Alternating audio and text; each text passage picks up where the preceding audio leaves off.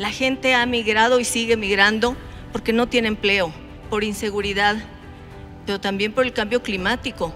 El segundo país con mayor número de migrantes en el mundo es México. México nunca ha tenido una visión de largo plazo sobre el tema migratorio, desde luego ni hacia el norte ni hacia el sur. Que tenemos que rehumanizar la migración.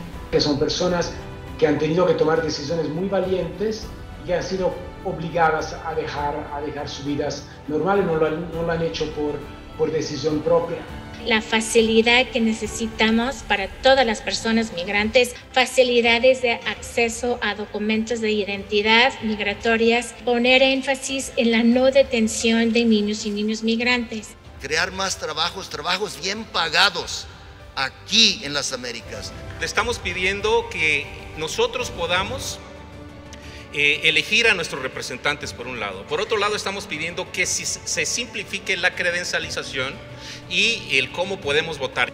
La evolución mexicana será de la mano de las y los migrantes o no será. Para que todos los derechos sean efectivos para todas las personas.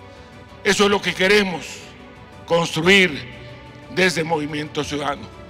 Por eso vamos a trabajar para dar la nueva opción democrática a nuestro país. Vamos a tener la más amplia representación de migrantes en el Congreso de la Unión y serán los propios migrantes los que den las líneas de acción que aquí se han planteado.